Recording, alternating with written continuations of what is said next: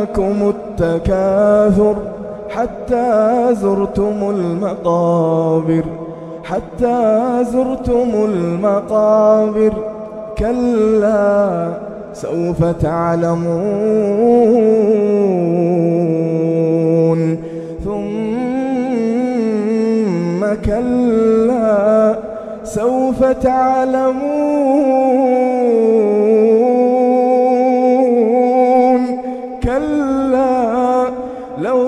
تعلمون علم اليقين لترون الجحيم لترون الجحيم ثم لترونها عين اليقين ثم لترونها عين اليقين ثم لتسألن يومئذ عن النعيم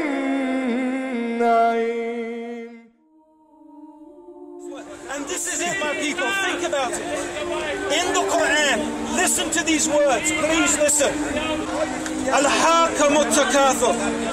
God is saying, the worldly life distracts you. That is the reality, people. You are distracted by your life.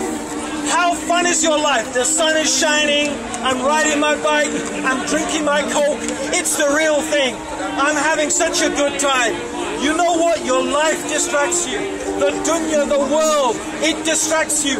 حتى ذلتم المقابر until you reach the grave. Yes, the grave, death. The death is the thing that we don't think about. Death is the thing we want to forget it. Death is the thing we don't want to hear about death. Don't talk to me. We don't even call it death. We call it kicking the can. He passed away. He passed away. He, he, he left us. No death, people. Death is the reality. That is one thing you can be sure about. You want to know something that you can be sure about? You want some surety? Death. Death is going to come to me. It's going to come to you. You can be rich. You can be poor. You can be a ruler of a land with $70 billion in your bank account. And death is going to come to you. You can be you can be Obama or you can be the man who empties the din. bin. Death is going to come to you. Man, woman, children, the young, the old, the poor, the weak, the needy. Death is the equalizer. It is going to come and take every single one of you. And what have you prepared? What have you prepared for death?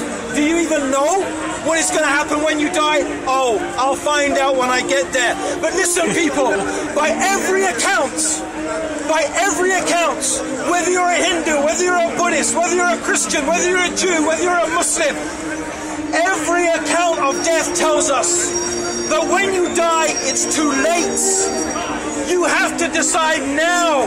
It's what you do in this life that is going to determine what happens to you when you die. The only people who say something different are the atheists. They say there is no God. This whole universe is a random event. A random event. A ra- if I told you this bottle randomly, spontaneously appears, you'd say I was crazy. And this is simple. A bottle is a simple thing of water. How about this universe in which we live? How about this? How about us, our bodies? Are we simple? None of you would believe that about anything. So let's just put atheism to a side because it's a fantasy. But anyone else who has some spiritual insight will tell you death. Death, it's too late. Once you're dead, it's too late. So Allah says in the Quran, Al-Haka Mutakathur. The worldly life distracts you.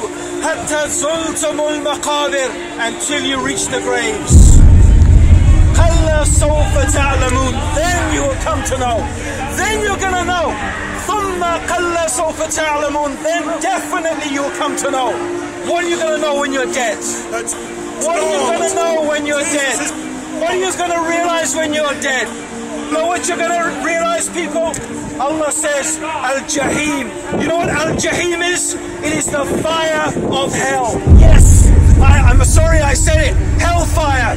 And I don't apologize that I'm here to warn you of a day a day when the sun will be more close, a day when we will sweat, a day when mankind will be in terror, when they will be in fear, when we will be running like we're in a drunken riot. But we will not be drunk. We will not be drunk with alcohol. It is the fear that will make us run because this is the day that we denied. This is the day we ignored. This is the day we forgot. It is the day of judgment. The day when our Lord, our Creator, your Lord and my Lord will ask us about every single thing that we have done.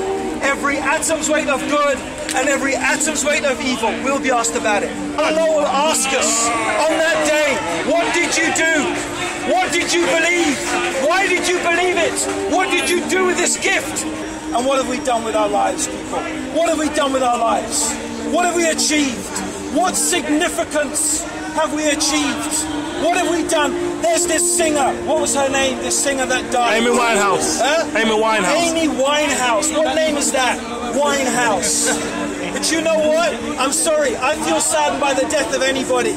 But what a name, Winehouse. You know what? I'm listening about the death of this girl who killed herself. Really, she killed herself through her drug addiction.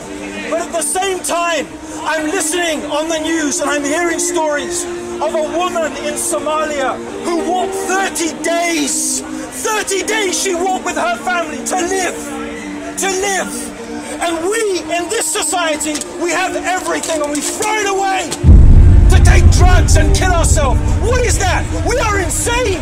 Who are we to tell the world how we should live? It's ridiculous. It's ridiculous. What do we have to offer? Coca-Cola, cars, pollution, depression, drugs. Really? Are you thinking, people? Do you sit and think about your life? Do you think where you came from and where you're going to? Do you think about death? Have you prepared for that journey? You know that people, any one of you go on a holiday. You know what you'd do if you went to a strange land? You'd prepare.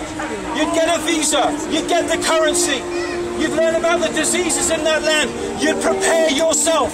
What have you prepared for death? What have you prepared for the day when you will meet your Lord and your Creator and you will stand in front of Him naked, no clothes? You know, you can't take it with you when you go, people.